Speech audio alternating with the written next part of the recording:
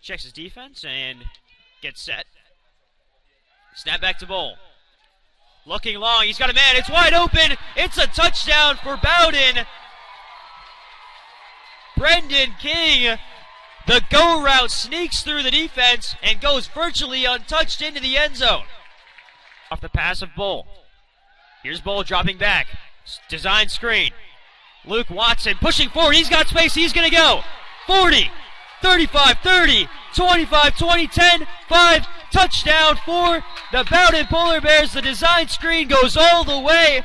And carrying it home is Luke Watson, the freshman. What a way to score your first collegiate touchdown. Takes the screen and takes it to the house for the Polar Bears. It's now 13 to 0. As they turn to the captain in the two minute drill. Banbury pulls it down, he'll run forward. Break it off to the outside, and he's brought down from behind. Ball's loose, and it's a fumble.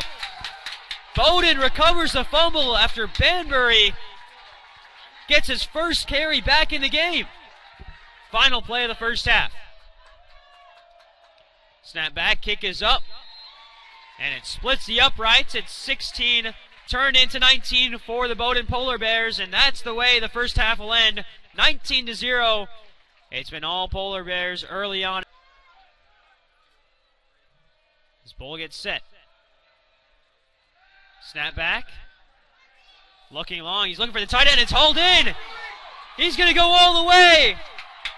James Duty, the sophomore, hauls in the pass over his shoulder and carries it all the way to the Bowdoin end zone.